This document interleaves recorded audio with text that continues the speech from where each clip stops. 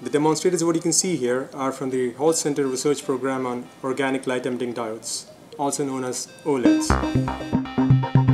These are next generation planar light sources which emit light from an extremely thin layer of organic material, which is like around 1000 times thinner than the human hair.